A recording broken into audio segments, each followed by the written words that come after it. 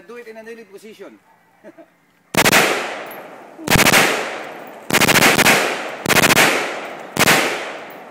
Hey.